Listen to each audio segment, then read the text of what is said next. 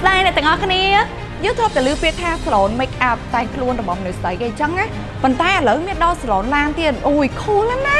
អញ្ចឹងថ្ងៃនេះនាងខ្ញុំសូមធ្វើការណែនាំនៅកន្លែងថែទាំរថយន្តមួយដែលមានឈ្មោះថា Auto Salon កម្ពុជា